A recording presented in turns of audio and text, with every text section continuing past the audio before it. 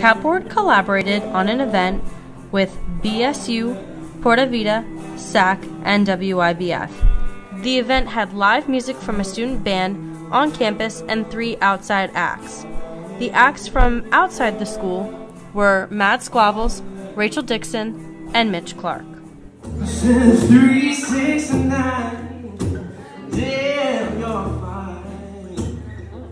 Sock it, sock it, sock it me, baby, one more time. To the window, to the wall. take care of your voice, but do vocal exercises.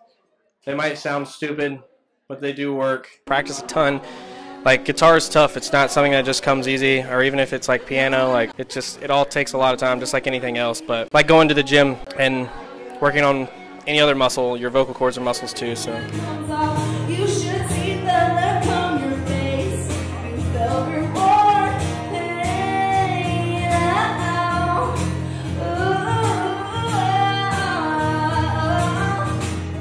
Just keep writing. Um, just write about what you know about. We have a lot of people right now who are trying to write about things they don't know about, and it's really tempting to get into that because it just sounds weird when you're writing bar songs and you're 19 and you've never been to a bar. And write music that you want to listen.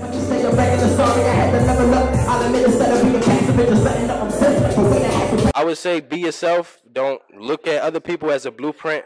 Don't try and do things that other people are doing and be like, oh, they went in with that. I'm going to try to do the same thing. No, do your own thing. Stay true to you and don't change up.